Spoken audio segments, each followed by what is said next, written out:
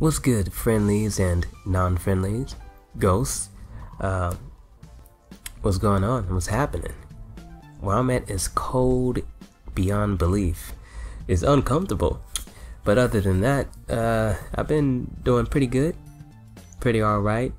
You know one thing about it, you know, with the this pandemic going on? I don't know I don't know how people can take it so lightly, you know?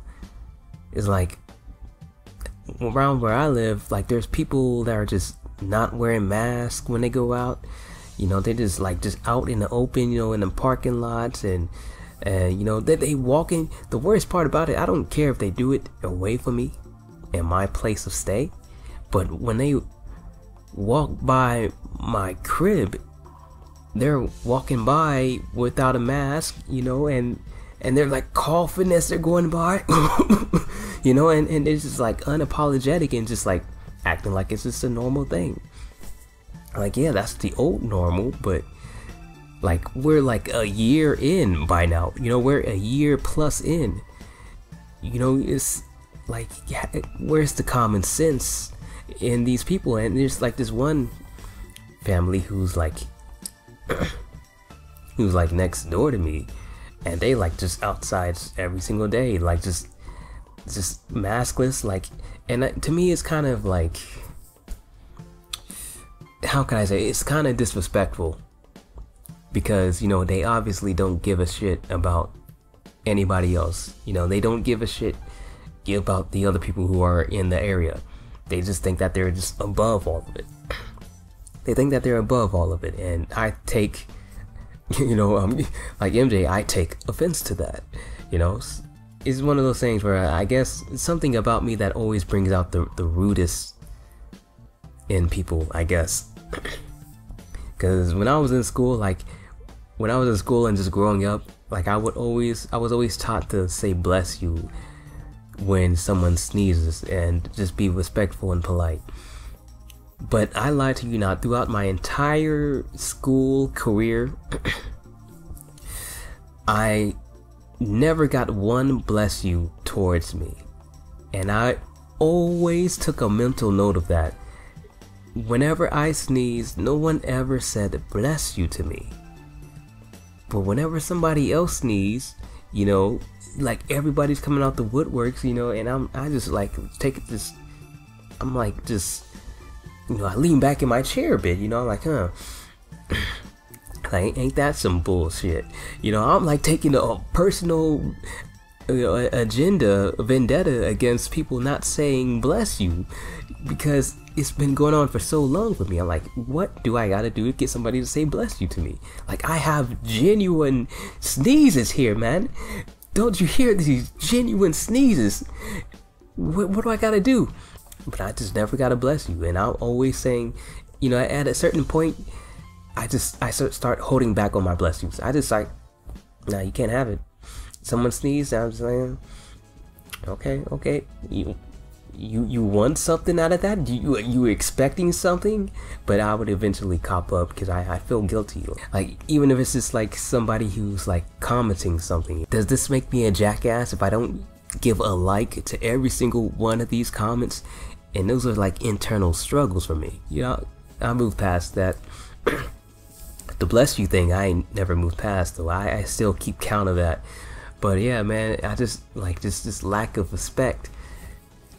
And I just it's kind of like when people don't wear their masks around me or around my place of stay or my personal belongings. It's like people it's like that same scenario all over again. Like they're just sneezing or I'm sneezing and there's nobody saying bless you or something. And you know, and and their sneeze, and then I have to say bless you to them. But yeah, people are not wearing masks. I just like, what are you doing, man? What are you doing? Gonna make me get an accent over here, man. You know, I just don't understand. Whenever I go outside, I'm always decked out to the brim. I'm wearing masks, masked up, geared up, gloves, snug tight. I got multiple gloves on me. You know, I, I don't take it for granted. But these people around me, they just take everything like it's so nonchalant and they just it just it's just so disrespectful in my humble opinion. Uh, there's nothing really that's been going on that's too exciting. where I, I live at in my part of the world. Oh, I had a nightmare. I had a nightmare that Legend of Dragoon got a remake.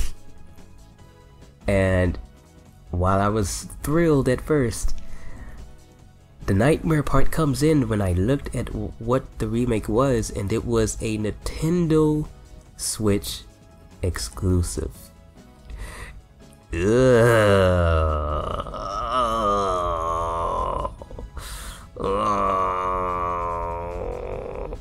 Oh man, it was such a high, and then it immediately became such a low, cause it looked so bum, bummed out. It, it looked like Deadly Premonition 2 mixed with Smash Brothers, the graphics I'm talking about. It was so disappointing and I am so grateful that and I, I, guess I'm grateful that it didn't happen because if that was the if that happened and that was how they came out, oh my god. I don't know how I how, how I would respond to that. I don't know why I'm speaking in an accent. Randomly go into accents. I don't know how I would have responded to that or how I would have felt. I guess I would have been happy. You know, I guess.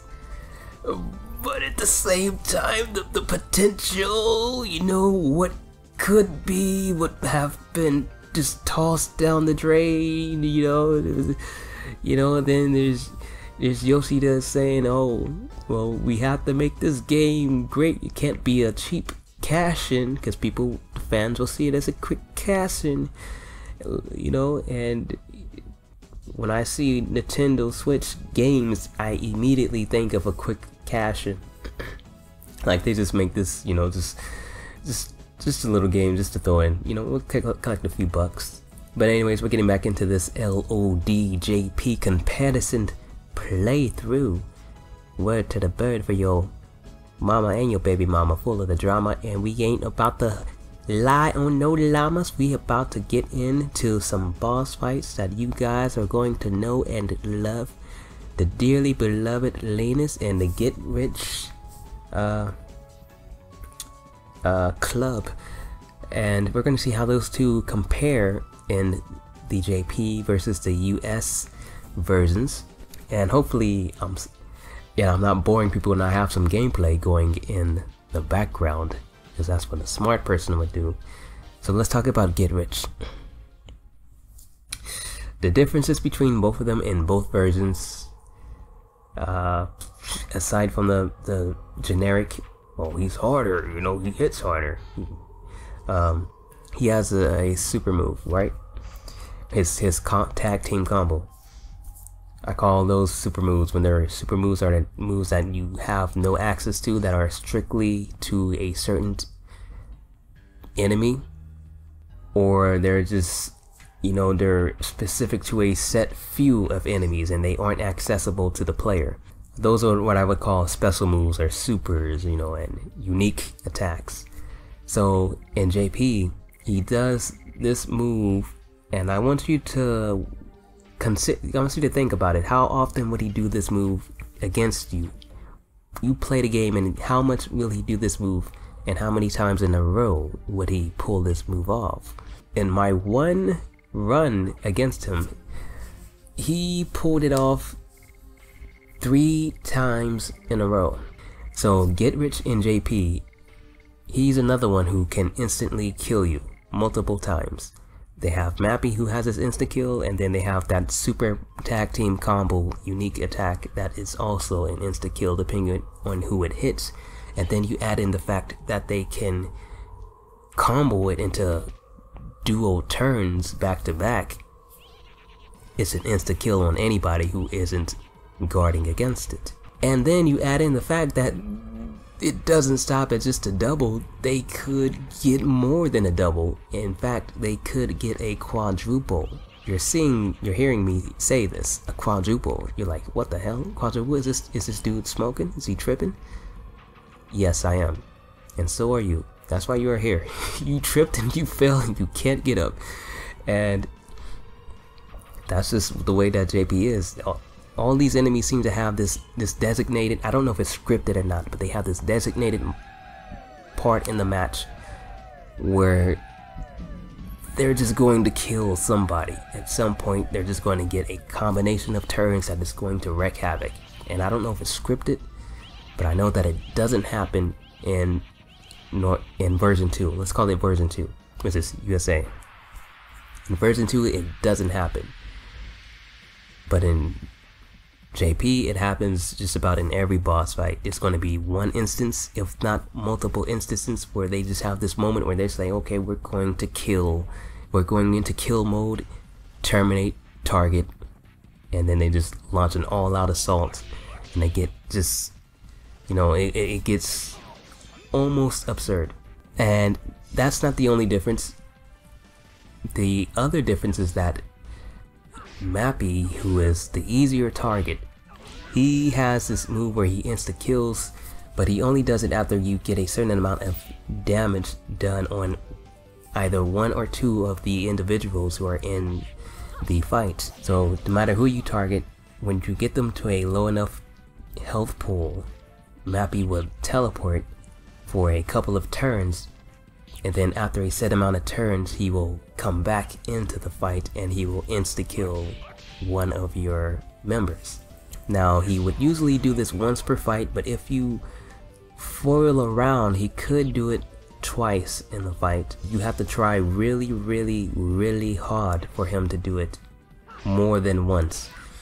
But in JP it's more or less mandatory that he's going to do it twice meaning he's going to insta-kill twice in the match. It's scripted. It's scripted that he's going to kill somebody twice. So that's the difference, that's the change, and it's more likely to happen because they have a larger health pool, so it's going to take longer. But also, I just think that they just programmed it that way for him to do it twice. And that's pretty much the Gehrich fight. And uh, I, I talk about how I approach the fight. Because he, Mappi disappears in the fight, he's usually the one that I would try to target, but because he disappears twice in the fight, it's kind of hard to target your damage. I want to get as much damage done as possible to make sure that he can't, you know, do that. So in order to do that, my tactic was I was going to target the person who didn't disappear, which is which is green guy. So I focus everything towards him. It's gonna take longer, but he's also more susceptible. I can continue in a steady onslaught. I get rid of their super quicker, and I just have to deal with one, one member at a time for the most part. After you know trying to survive the very beginning of the fight. But once you get them to start disappearing, you can kind of get like a, a grip on the fight. So that's going to be how I approach the fight. I tried Mappi in the past when my first time playing the JP, and it did not go well, so I switched it up. And in this playthrough, that's what I went with. So with that, I'm going to head out and not talk your ears completely off and I hope you guys enjoy the rest of this video and I'll be back with some Lenus tips after these fights. Be cool.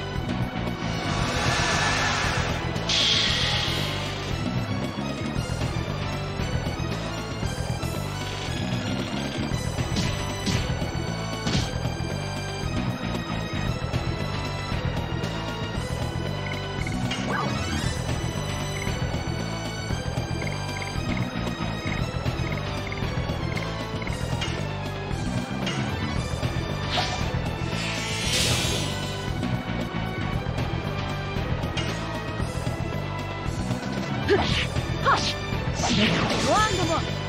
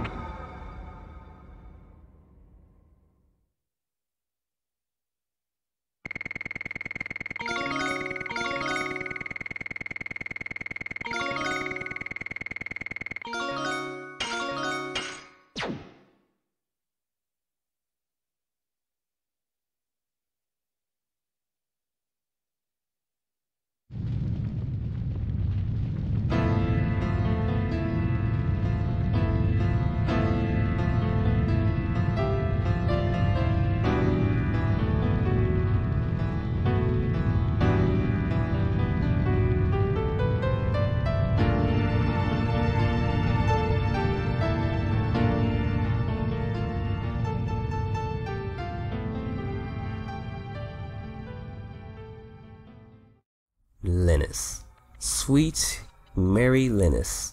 The girl, or scratch that. The lady with her crotch out.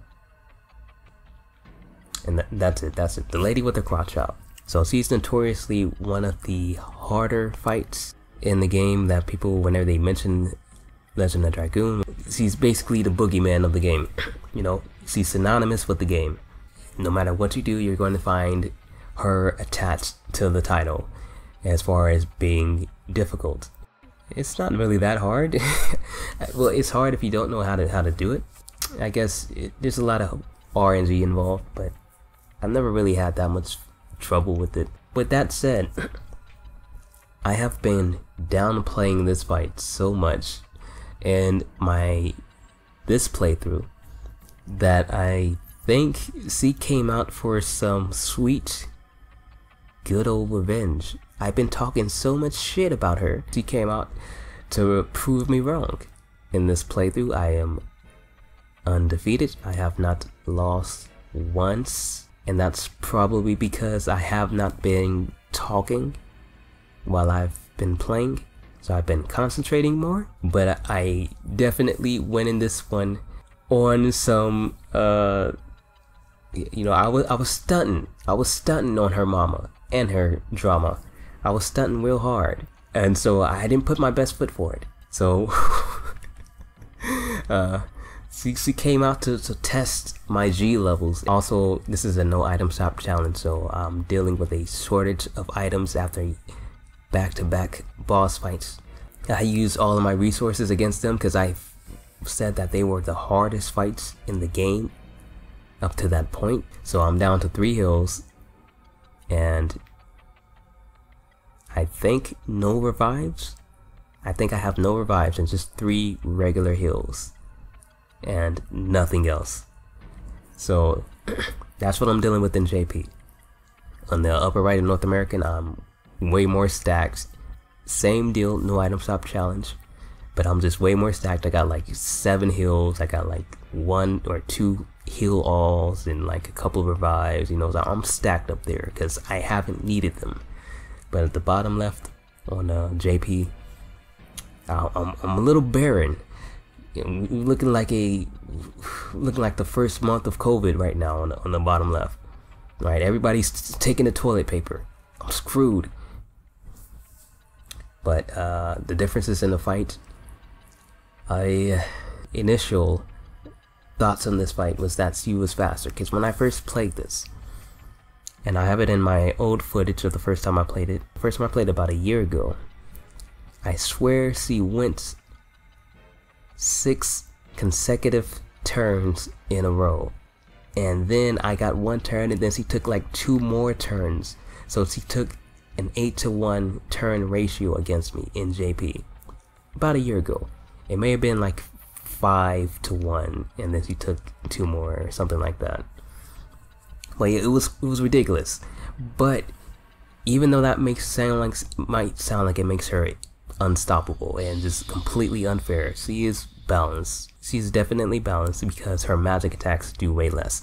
So the way that I approached the fight shifted in a bit because I knew that her magic attacks were going to be the part that I was going to be safer. I'm actually going to be safer when she starts pulling out her magic attacks because when she throws out her physicals, her melee, that shit hurts. And it doesn't do that much more in JP. I guess they decided that she didn't need that much of a nerf or a, of a buff because her damage isn't really that different even with physicals. It's not like it's doubled or anything. It's it's like 20 15% more or something like maybe 30% more something I'm not a mathematician but it's like the difference between 200 and 200 85. That that's the difference in her damage with physicals. Her melee doesn't exactly make up for the nerfs that she has in JP because her magic is definitely down by at least 300 at, at the most. I don't really know. She's still hard. She's still hard, but she's harder up front in the first part of the fight. When she's doing nothing but melees after melee and when you get her near to half the halfway mark, she starts breaking out the spells. So that was the, my focus to get her to that point as fast as possible because it hurts. It hurts when she's just knocking all three of your members with nearly 300 damage each turn. Um, there's nothing else I need to say. That's pretty much the main difference in the fight you know, it takes longer to kill her, so she has more opportunities to kill you, but at the same time, you know, her, her damage is nerfed as a, as a whole, but is also buffed up front. So, yeah, give and take, give and take. But I think this one is kind of just like a, it's a draw. You know, it's just kind of like a flat line. I would say they're both equally as hard, but I know how to deal with one more than I know how to deal with the other. So I don't know. I can't really speak on it uh, you you decide, and I'll let the fight speak for itself. I say that damn near every time. Anyways, I'm out.